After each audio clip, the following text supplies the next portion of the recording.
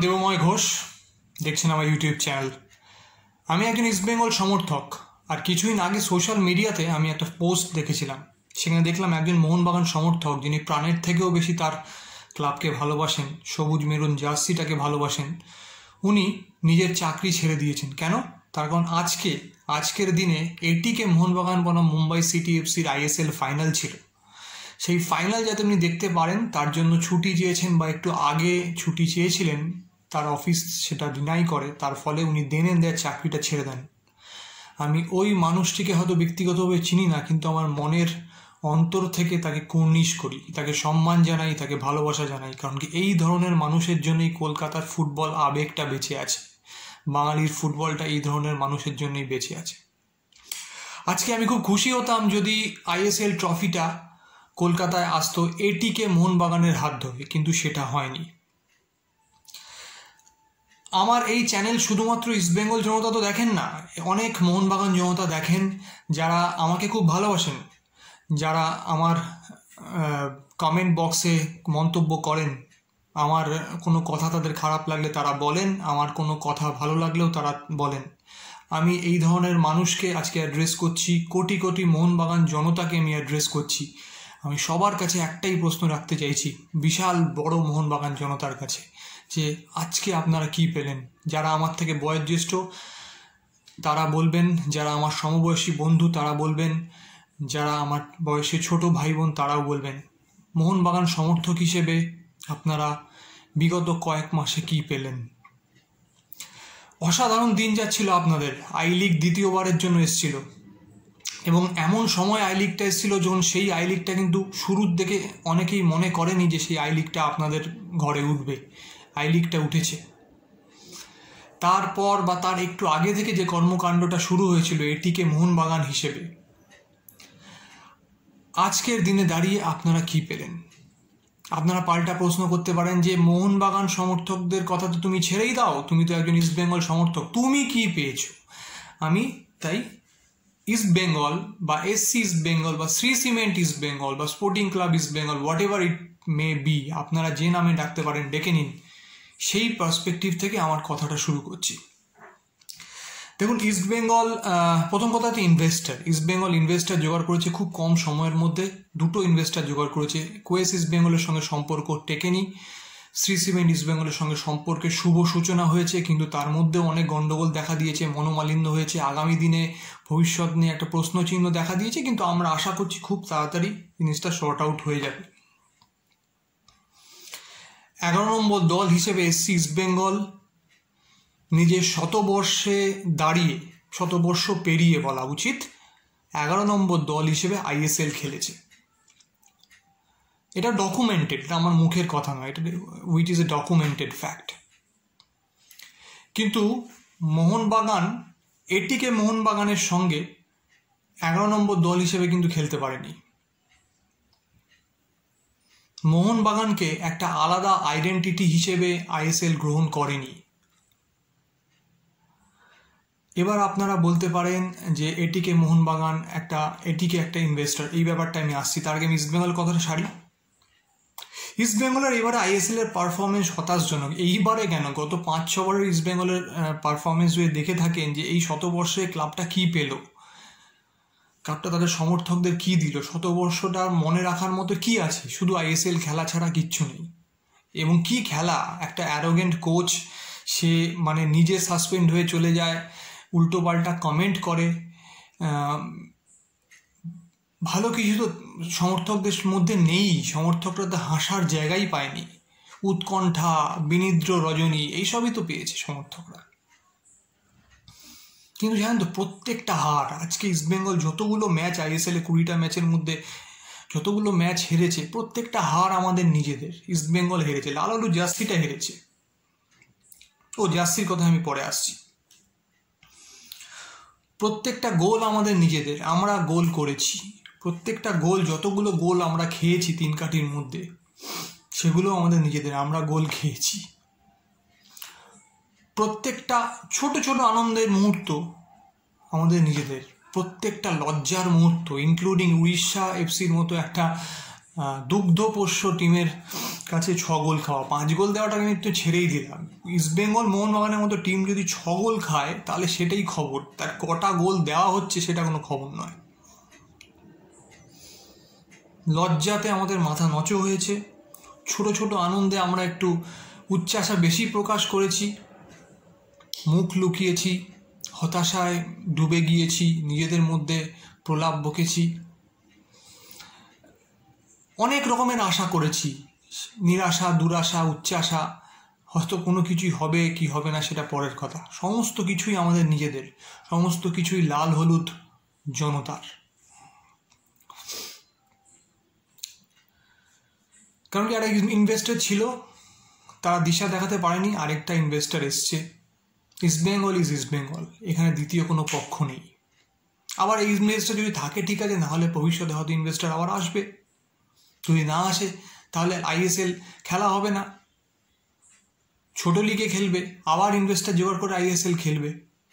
কিন্তু সমস্ত কিছুই আমাদের, লজ্জা আমাদের, ঘৃণা আমাদের, দুঃখ আমাদের, কষ্ট আমাদের, আনন্দ আমাদের, গোল আমাদের, চিৎকারটাও আমাদের, ইস্ট বেঙ্গলের।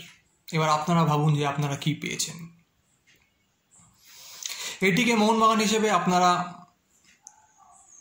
আইএসএলে নিজেদেরকে মন থেকে নিয়ে গিয়েছেন। কিন্তু টুর্নামেন্টের মাঝেই আপনারা বুঝতে পারলেন যে এটিকে শুধুমাত্র এটিকে নয়, এটিকে is not just a dead club আপনাদের বলা হয়েছে এটিকে ইজ ইনভেস্টার হ্যাঁ আরপিএসজি গ্রুপ এটার একটা ব্র্যান্ড হচ্ছে এটিকে।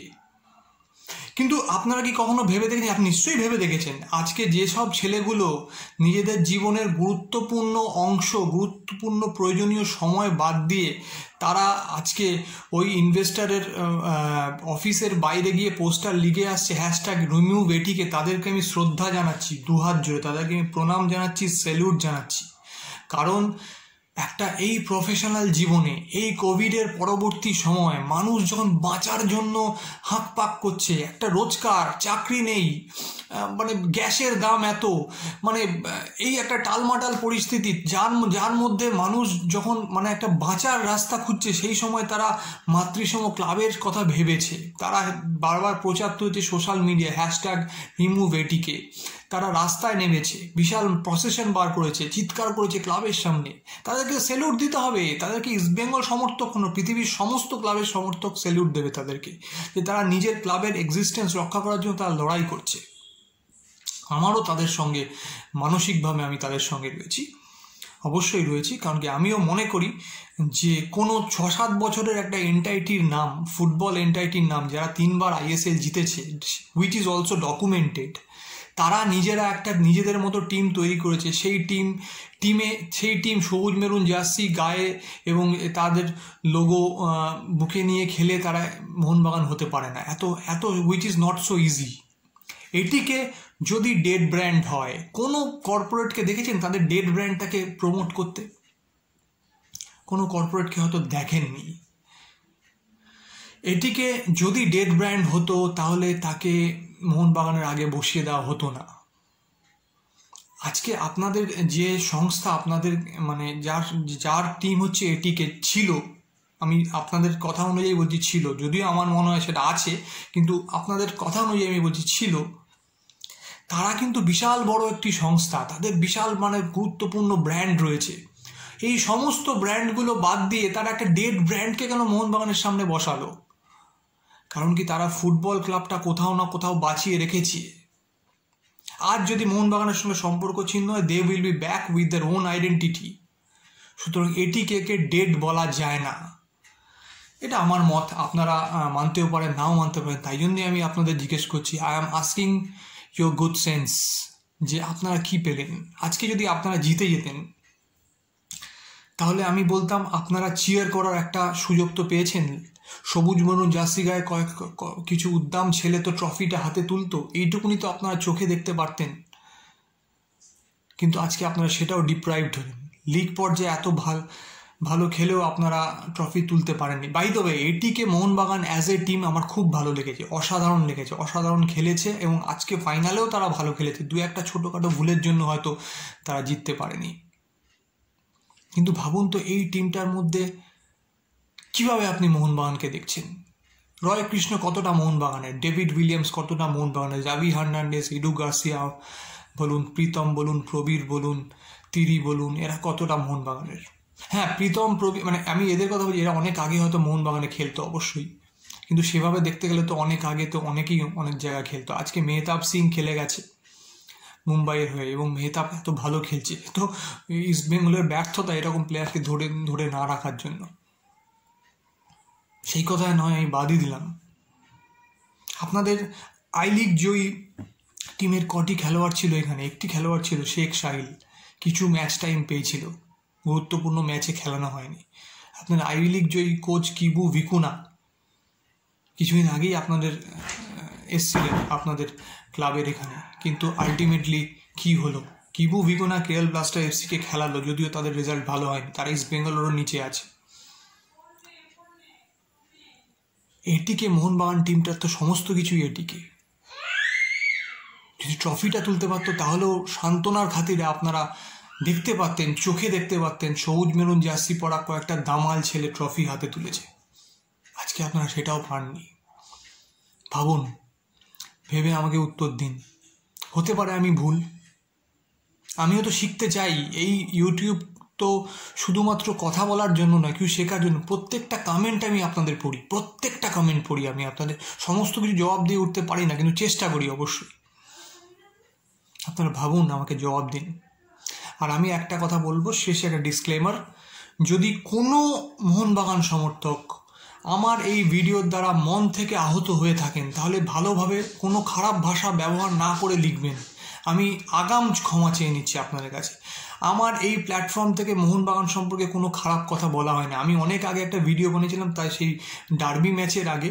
এটিকে মোহনবাগান আর সিস বেঙ্গলে, সেখানে আমি একটা হেডিং দিয়েছিলাম এটি কে এটি একটা গ্যাপ দিয়ে জিজ্ঞাসার জন্য কে? মোহনবাগান। এসো, খেলা হবে খেলা হবে খেলা হবে। ঠিক আছে? এখানে কিন্তু মোহনবাগান ক্লাব সম্পর্কে আমি একটাও খারাপ কিছু বলিনি। আমি শুধু বলেছি এটি কে? এটিকে নিয়ে আমি একটা মস্করা করেছিলাম এটি কে? এখানে কিন্তু মোহনবাগান ক্লাব নিয়ে আমি খেলা হয়নি। এটি কে? ও আচ্ছা মোহনবাগান। এসো, খেলা হবে খেলা হবে খেলা হবে। মোহনবাগান ক্লাব নিয়ে কিন্তু আমি মস্করা করিনি। এটা অনেকে আপনারা ভুল বুঝেছিলেন। আমাকে লিখে জানান। আপনারা কি পেলেন? নিচে লিখে জানান।